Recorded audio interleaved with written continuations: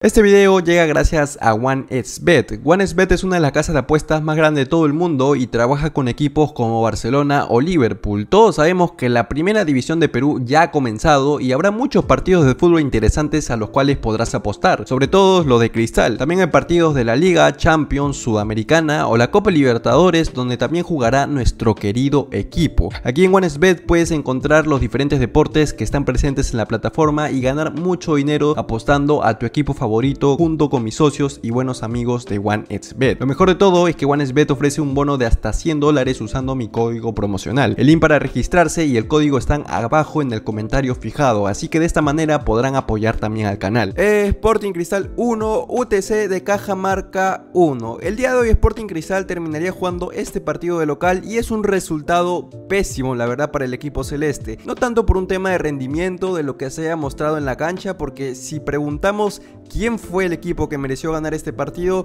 Pues UTC, el local, debió ganar este partido por tema de merecimientos. Sabemos que el fútbol no es de eso, al final Sporting Cristal termina empatando, pero lo digo más que todo que fue un empate pésimo, un resultado pésimo para el equipo celeste, porque Sporting Cristal por tema de nombres, estos partidos los debería ganar. ¿Cuál es la exigencia de nuestro equipo en el torneo local? Ganar todos los partidos. Se puede entender que algún día se levanten todos con el pie izquierdo el equipo y jueguen en mal un partido y terminemos empatando o perdiendo porque puede pasar. El rendimiento no siempre va a ser constante, pero que ya hayan varios empates y que nuestro equipo sea el equipo con más empates, con 7 empates en este torneo apertura, ya hace pensar algo que algo no está funcionando. Hay varias cosas que no están funcionando dentro del plantel y la responsabilidad, a mi parecer, en este partido es plenamente de Thiago Núñez. También con los jugadores, obviamente, pero en esta ocasión me parece que Thiago Núñez tiene mayor responsabilidad que en otros partidos. Hay varios temas que quiero desarrollar en este video pero primero comencemos hablando de nuestro 11 inicial. El 11 que presentaría Sporting Cristal para este partido como visita comenzaría en el arco con Renato Solís, y aquí sin nada que objetar en el tema de que ponen este arquero, porque es el arquero que ha venido siendo titular, cuatro defensores, 4-3-3, con los cuatro defensores de siempre, Nilson Loyola al parecer ha sido borrado, tampoco no puedo objetar nada en este aspecto porque los partidos que ha terminado jugando Loyola nos han perjudicado muchas veces. Aquí se desarrolla y se nota el tema de que Rafael Lutiger es un jugador más posicional, un jugador más defensivo que Loyola, que Loyola sí nos daba un poco más en ataque, pero ya sabemos que defensivamente siempre terminaban quedando huecos y varios de los empates en el torneo local y en Copa Libertadores eran responsabilidad de este lateral. Ojo que no estoy diciendo ni reclamando por qué no han puesto a Loyola, porque si el entrenador lo ha borrado es por algo, por algo que ha pasado. Loyola tampoco me parece que esté en un nivel de Sporting Cristal. Con Lutiger ganamos defensivamente, pero ofensivamente perdemos poderío en ataque.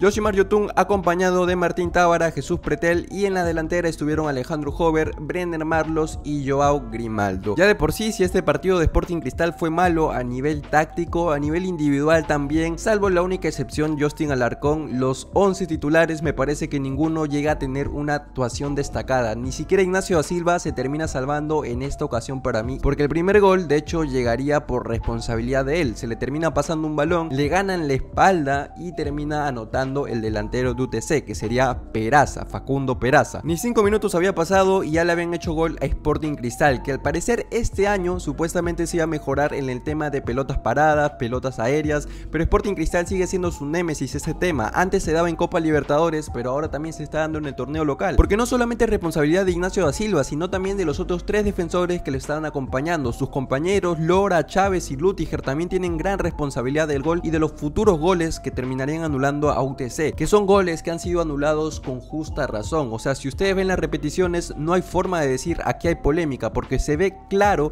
que los delanteros están adelantados. El tema es que cómo es posible que te ganen siempre en pelota parada, cómo es posible que siempre te ganen de cabeza. Y no solamente han sido esos tres goles anulados, porque UTC también tuvo dos palos clarísimos que si terminaban en gol esas ocasiones iban a ser goles legítimos. Sporting Cristal una de esa ocasión fue en el primer tiempo donde la pelota da un muy buen pase el delantero de UTC termina pasando por los cuatro defensores de Sporting Cristal pero para suerte nuestra termina chocando al palo y la segunda igual tuvimos suerte fue otra una pelota parada casi al finalizar el segundo tiempo íbamos a perder ese partido. Sporting Cristal por eso digo que si hablamos de merecimientos no mereció ganar ese partido y empatar tampoco. Yo como hincha siempre voy a querer que mi equipo gane, pero si hablamos de merecimientos, UTC es el que dominó el partido y el que mereció ganar por tema de tener más remates al arco. Tuvo las más claras y Sporting Cristal no logra plantar su fútbol. En esta ocasión de los tiros al arco, en esta ocasión de que siempre nos ganen en defensa, es responsabilidad total de los cuatro defensores que están, porque no se pueden quedar dormidos, porque la primera que se duermen aquí en el torneo local puede ser que te perdonen como en esta ocasión, pero en Copa Libertadores no, en Copa Libertadores eso no pasa, ellos con una ocasión, con una sola ocasión te pueden terminar metiendo un gol y con ese gol es suficiente para terminar ganándote el partido y llevarse los tres puntos o pasar en la serie. Estos defensores, los delanteros rivales que son de jerarquía internacional en Copa Libertadores, ellos sí saben cuándo desmarcarse, saben cuándo están en offside y por ende siempre están en la última línea del último defensor para justamente no quedar adelantados y cuando hagan gol sean goles legítimos. Esta es la diferencia y Sporting Cristal en defensa está dejando mucho que desear. Copa Libertadores nos podría pasar muchísima factura, sobre todo otra vez que nos vamos a enfrentar a Fluminense contra River de locales y en Bolivia cuando juguemos de visitante, que va a ser una cancha muy dura. Preocupa mucho este aspecto, la verdad no sé qué está pasando con la defensa y por eso para mí es responsabilidad de los defensores, pero también de Thiago Núñez, que él influye en la táctica, en cómo ellos están ordenados y en las pelotas paradas. Esto se debe mejorar con mucha urgencia. Thiago ya ha aceptado que es una falencia del equipo, pero hasta el momento yo no he visto alguna mejora en este aspecto. Ahora, hablando de otra de las decisiones que también han sido criticadas por el hincha, es el por qué Justin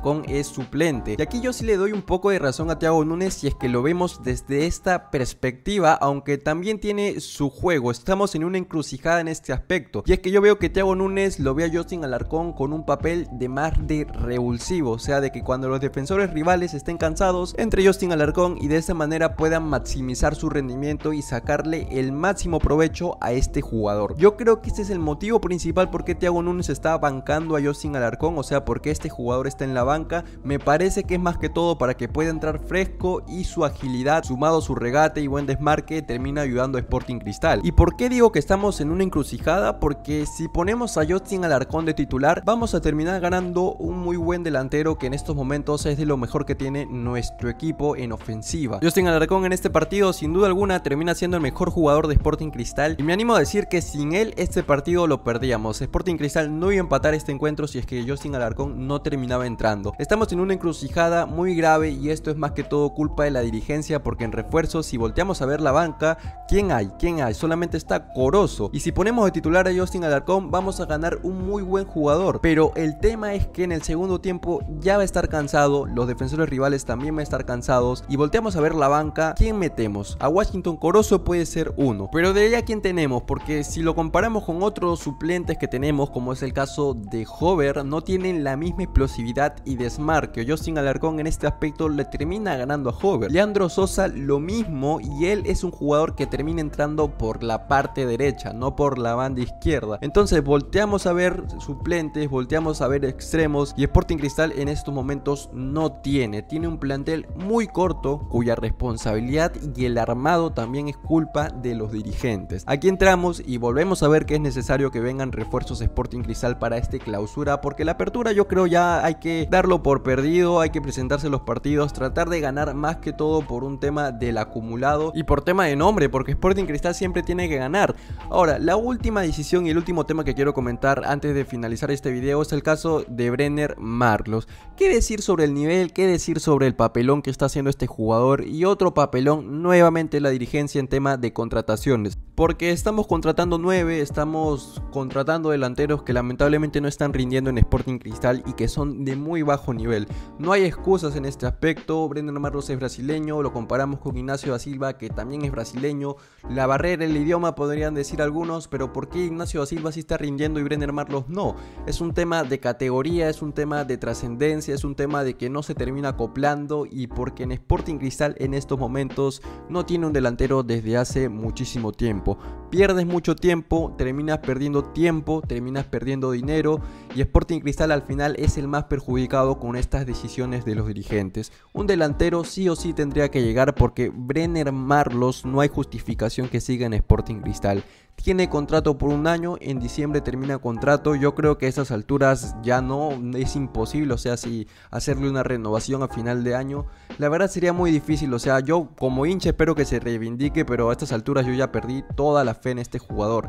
No hay tampoco justificación para que Thiago Núñez lo termine poniendo como titular, pero volteamos a ver la banca otra vez y en estos momentos en la banca que terminaría presentando Sporting Cristal no veo otro 9 suplente, a lo cual volteamos otra vez saber la dirigencia con la mala suerte que tuvo Irving Ávila de lesionarse, pero sobre todo la contratación de un segundo delantero como es el caso de Adriano Garriza que ya vendría lesionado de Sporting Cristal y no terminaría jugando partidos. Ha jugado creo solamente un partido que fue contra Cienciano, pero de ahí no ha jugado más, o sea, ¿qué armas le terminamos dando a Thiago Núñez para que se pueda desarrollar en Sporting Cristal? Es una vergüenza por parte de la dirigencia que tiene gran responsabilidad en los resultados de Sporting Cristal.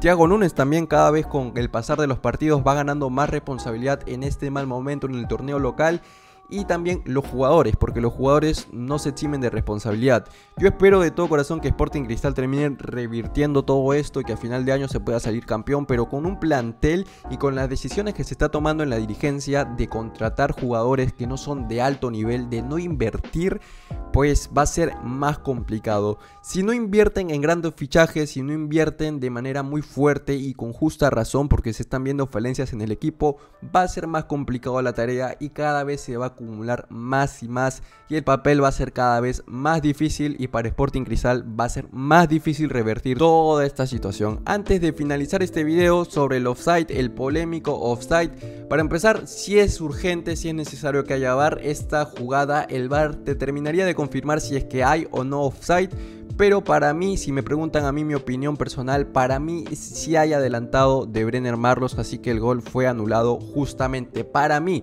con lo que estoy viendo en la televisión, que la toma tampoco es que haya sido la más clara del mundo, por eso es muy necesario el VAR en esta liga paupérrima, porque eso termina perjudicando al equipo. Ahora hay polémica porque no se termina de ver, para mí Brenner Marlos por un tema de perspectiva está adelantado, pero sería muy bueno que se termine confirmando con un VAR cuya existencia en el torneo local en estos momentos no la hay. Ojalá Sporting Cristal mejore y bueno, déjenme su opinión en los comentarios que los estaré leyendo. Nos vemos hasta el próximo video. Hasta la próxima.